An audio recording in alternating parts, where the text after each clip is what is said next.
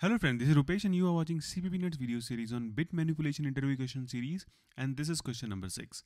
Find non-repeating element from an array. What I mean is, if your array is like this, we have 1 and 1 repeating, 2 and 2 repeating, 4 and 4 repeating, 5 and 5 repeating, but 3 is non-repeating element, right? So you have to find 3 from this. And the question is, this 1 and 1, 2 and 2, we can see that they are repeating. So they can repeat only in pairs. They cannot repeat like 1, 1 and 1. No. Then 1 is one single, right? Like they cannot repeat like 1, 1, 1, 2. No. Array is not like this. Because we have pair here, but then we don't have pair for this. We need pair for this. Now it is okay. So our array is like this, okay? And this is Google interview question and you will be surprised to see the answer. Or the brute force approach would be that you have two loops like i and j and with i you just choose i mean you choose this one and you go from j to n and search this one is present. If you find it you just break that and then your i start from here okay? And then your j will start from here. So it's like double loop and you just try to find out which one is the single element. But this is like n square problem. This is not a good problem. What else we can do? We can sort these numbers. So if you sort it, it will be like 1, 1, 2, 2, 3, 4, 4 and 5 and 5. So now also you can check in the pairs. So it's like n log n for sorting and then n for traversing again. So we have n log n complexity, which is still not that great because we still have this multiplication here and this can go very bad if your n is very big. So what is the best solution? We can use, as this is bit manipulation interview question series, we have to use bitwise operators, right? Yeah. So here the winner is XOR operator.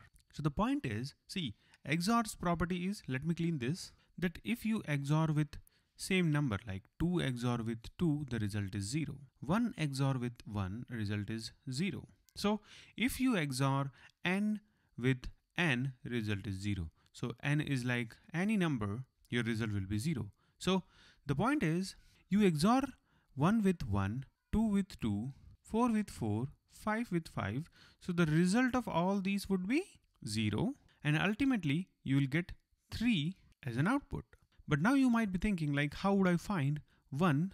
I mean, I want to do XOR this one with this, right? So I have to find this one. This one can be here, here, here. No, the idea is the best part is if you have this much small array, 1, 2, 1 and 2 or you have 1, 1, 2, 2. If you do XOR with each and every number, like if you apply for loop in this array and XOR 1 with 2, whatever comes the result you XOR that result with this one and then whatever comes as a result you XOR that with this two then result would still be zero. What I mean is let's suppose you have integer sum is equal to 0 and we can have a for loop i is equal to 0 to i less than okay? So if you have like this for i is equal to 0 to n so n is like we have four numbers in this so n is like 4. And we do this sum XOR equal to array of i. So the AND result after completing this for loop, your sum would be 0 if your array is this or it is this. So it doesn't matter where this one is present. Actually, it should just present twice. So it doesn't matter where it is.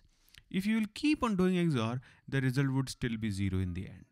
So now you know your answer. You just have to write this piece of code and your Google interview for this question is really very good. I mean, I don't know, they will ask you this question again or what, I don't know, but this is the trick. And this trick only works if this repeating elements are in pairs.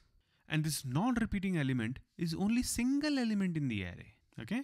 So, and yeah, let's suppose we have three here. I just forgot to mention that if we have three here and we are processing this, then sum would contain 3 in the end because the whole idea is as you know all these pairs will get to 0 and ultimately you are doing XOR 0 with 3 because 3 is present, right? So 0 XOR 3, answer is 3. Why? Because 0, 0, 0, XOR operation, 3 is what? 0, double 1.